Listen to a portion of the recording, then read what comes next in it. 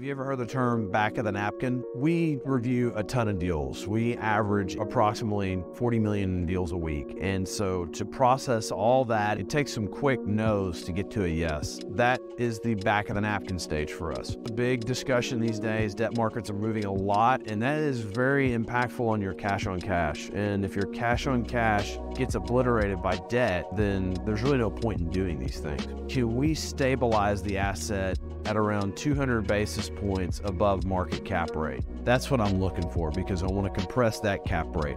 So if it kind of passes that test, that's the easy one to really, really take it to the next level. You get to provide feedback to the brokers that bring it to you real quick so that they can take it to someone else and see if it meets their investment criteria. We got to find a way to add value to the equation. Learning how to back of the napkin something real quick gets you to a point to where you don't spend a lot of time on things that you would never do in the first place.